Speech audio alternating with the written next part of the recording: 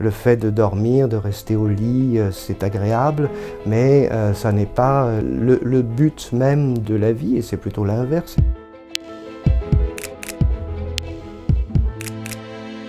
C'est quelqu'un qui écrit ses préméditations matinales, c'est-à-dire que le matin, il se prépare à vivre sa journée.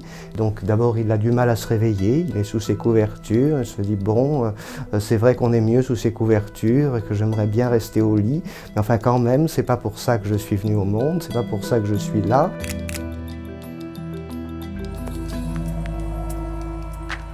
Donc il faut que je me lève pour faire mes tâches quotidiennes.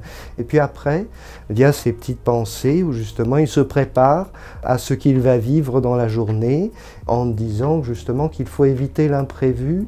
Donc ce matin, tu vas te lever, après tu vas rencontrer beaucoup de gens, beaucoup vont venir pour te solliciter, beaucoup vont venir te faire des reproches, beaucoup vont venir te critiquer. Et donc il faut te préparer à ça.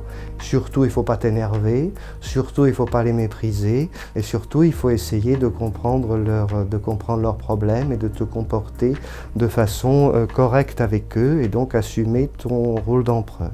Et je pense que si on le lit, on peut voir justement comment on peut au quotidien utiliser les maximes et les réflexions de la philosophie, utiliser aussi ces, ces techniques qui sont les techniques qu'il met en œuvre de méditation. Il faut lire Marc Aurèle à présent parce qu'il nous incite à aller vers l'autre, à essayer de le comprendre, à cheminer avec lui dans une même direction.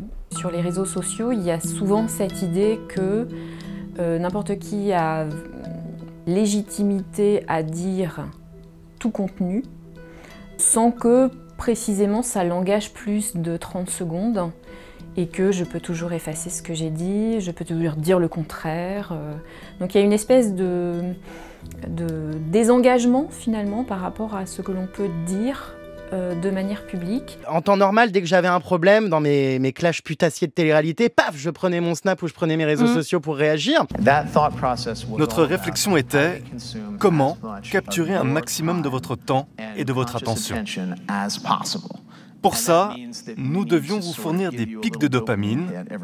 Par exemple, on a créé des likes sur vos posts pour vous pousser à continuer. Marc nous dirait sans doute, si tu as vraiment quelque chose à, à dire, c'est-à-dire à maintenir euh, devant les autres, ça doit être important d'une part, ça doit être pensé d'autre part, et ça doit être assumé.